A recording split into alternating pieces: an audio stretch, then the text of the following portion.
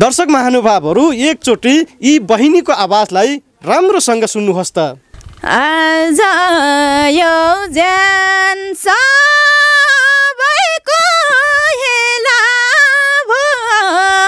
कता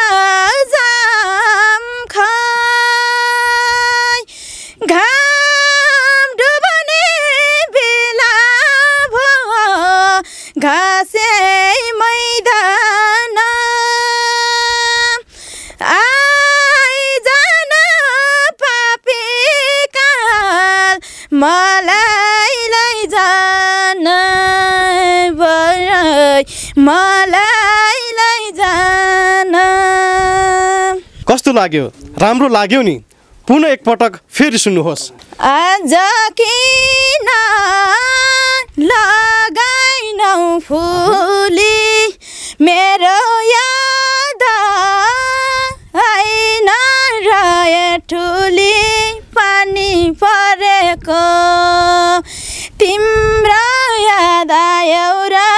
बेसी झरेको।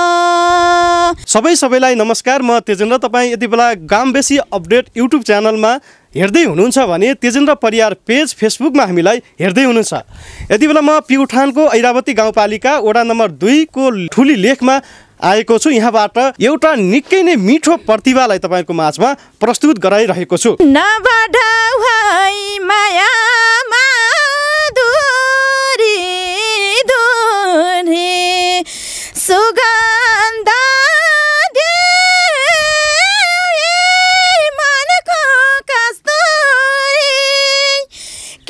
कहाँ पाइन्छ र माया बजार बजारमा मन जडियो मनसँग होइन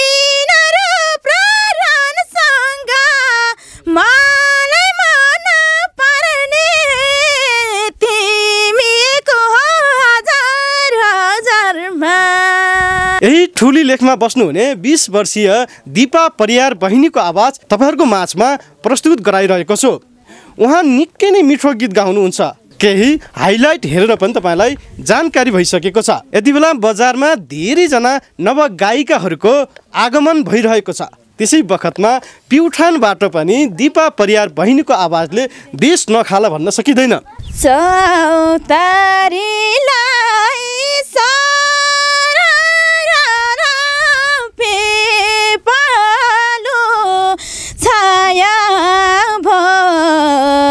मलाई सधैँ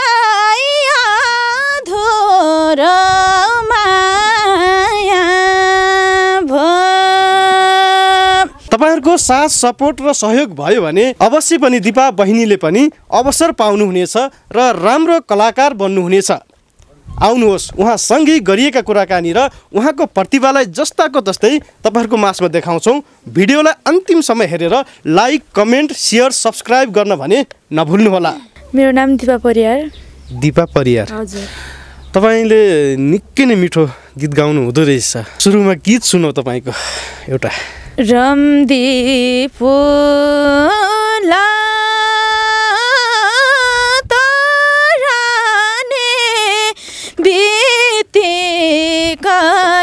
बाँचे भेट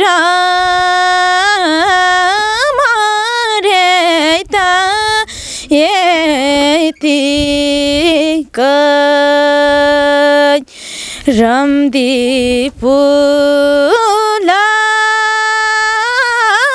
तराने बितेकै बाँचे भेट मरे त यतिकै रामदी पुल तरने बित्तिकै बाँचे भेट मरे त यत्तिकै कति मिठो आवाज तपाईँको गीत पनि उत्तिकै राम्रो छ त्यसैमा तपाईँले गाउनुभयो झनै राम्रो सुनिएको छ है हजुर। तपाईँ के गर्नुहुन्छ विशेष गरी? म पढ्छु। कतिमा पढ्नुहुन्छ अहिले? अहिले मैले दसमा। दसमा पढ्दै हुनुहुन्छ। है? हजुर। पढाइ सँगसँगै गीत सङ्गीतमा पनि रुचि धेरै देखेँ मैले तपाईँको। हजुर छ। है? हजुर। अनि सँगै घरमा अहिले को को बस्नुहुन्छ? घरमा अहिले दिदी म ठ्याक्कै भन्नुपर्दा दिदी म मात्रै छौँ? बाबा मम्मी अहिले बेसी घरमा हुनुहुन्छ ए ए ए ए। ल फेरि अर्को गीतै सुनौँ। हामी कुराकानी कम गीत चाहिँ बढी सुन्छौँ आज।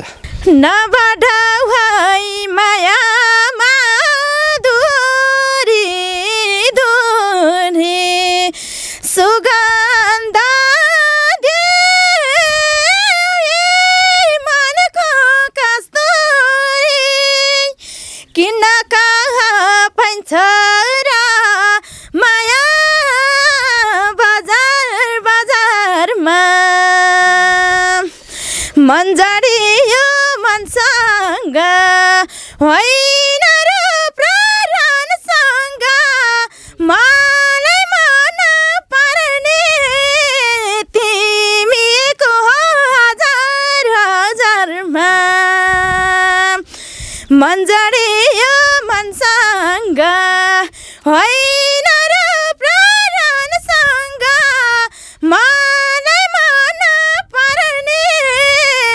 तिमीको हजार हजारमा। गीत कसले गाउनु भएको थाहा छ? गोविन्द पौडेलले। गोविन्द पौडेल प्युठानकै कलाकार हुनुहुन्छ प्युठानकै गायक हुनुहुन्छ। हजुर। गीत मनपर्छ। हजुर। है? तपाईँको जति सुने त्यति नै आनन्द लाग्छ। अब फेरि अर्को गीत गाउन लगाउँछु म। घाँसे मैदान।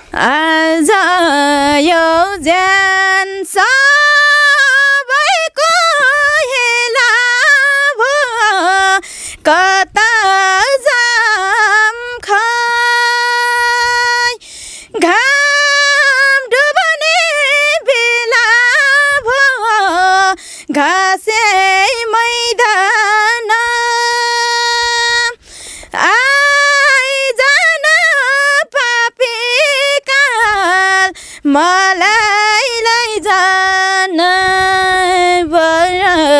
मलाई लैजान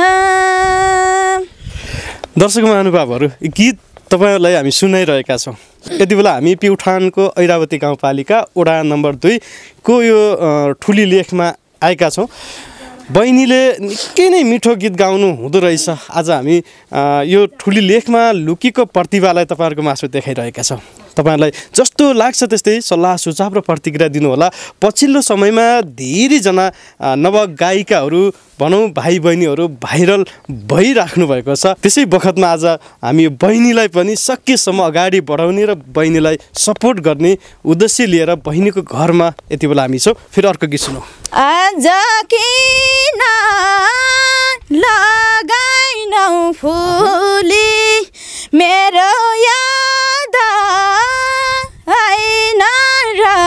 ठुली पानी परेको तिम्रो याद आयो र बेसी झरेको तिम्रो याद आयो र बेसी झरेको ओके थोरै अब कुराकानी जोड्छु म जस्तै तपाईँले कुनै कार्यक्रमहरूमा भाग लिएर प्रतिस्पर्धा गर्नुभएको छ कसैसँग म क्लासमा स्कुलमा त म यस्तो कार्यक्रम राख्दा गीत गाउँथेँ अरू अन्त त म त्यस्तो गीत गाउने थिएन गाउनु भएको थिएन। र घर परिवार जस्तै बुवा मम्मीहरूलाई थाहा छ तपाईँ यति मिठो गीत गाउनुहुन्छ भन्ने कुरा थाहा छ कि नै? थाहा छ। थाहा छ। के भन्नुहुन्छ उहाँहरूले? बाबा मम्मीले अब प्रयास गर्दै गर प्रयास नै जारी हो भन्नुहुन्छ। सपोर्ट कतिको छ? सपोर्ट छ। छ है राम्रै छ। हजुर। ए अनि के छ कुनै चान्स पाए अवसर पाए केन्द्रीय स्तरमै गएर भन्दा भन्दा पनि काठमाडौँ गएर गीत रेकर्ड गर्ने तपाईँको इच्छा आकाङ्क्षा छ कि नै? छ। है? हजुर। ओके। हामी दर्शकहरूलाई त्यो चाहिँ भन्न चाहन्छौँ कि तपाईँहरू बहिनी गीत सुनिसके पछाडि चाहिँ केही अवसर दिन चाहनुहुन्छ भने हामीलाई सम्पर्क गर्नुहोला। बहिनीको आवाज यति मिठो छ नि। कुरै छोडो। तपाईँहरू गीत सुनिसके पछाडि आफै मूल्याङ्कन गर्न सक्नुहुनेछ। र अहिले चाहिँ दस क्लासमा पढ्दै पनि हुनुहुन्छ। हजुर हजुर। है? हजुर। पढाइ पनि अब राम्रै छ ठिकै छ भन्नुभएको छ। सँगै गीत सङ्गीतको रुचिलाई पनि निरन्तर बढाइराख्नु भएको छ। आगामी दिनहरूमा पनि अझ मिठा मिठा गीतहरू गाउने प्र्याक्टिस गर्नुहोला। र भोलि बजारमा तपाईँको एल्बम आओस् है। हामी चाहिँ त्यो चाहना छ। र हाम्रो तर्फबाट पनि हुन सक्ने सहयोग चाहिँ हामी गर्छौँ। अर्को गीत सुनौँ फेरि। चौतारीलाई सररपे पालो छाया भ। मलाई सधैँ अधुरो माया भयो सम्झ्यौ तिमीले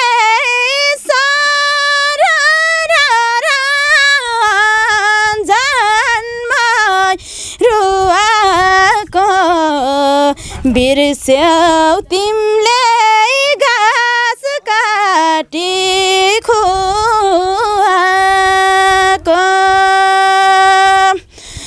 चौतारीलाई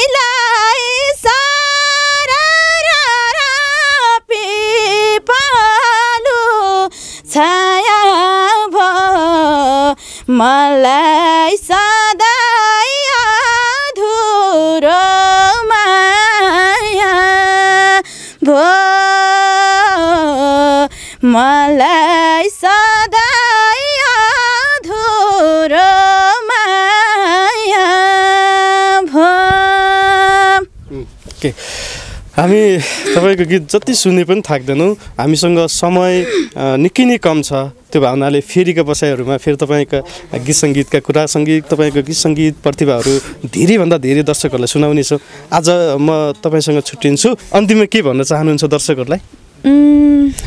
अन्तिममा मलाई के भन्नु छैन। मेरो स्वर कस्तो लाग्यो? दर्शक बिनहरूले जस्तो लाग्यो। त्यस्तै सल्लाह सुझाव दिनु होला। भन्दै बिदा भन्दै बिदा हौ।